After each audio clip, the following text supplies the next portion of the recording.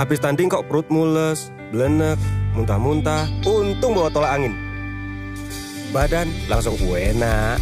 Tanding, seneng-seneng, jalan terus. Kalau masuk angin, orang pintar minum tolak angin, Sido muncul.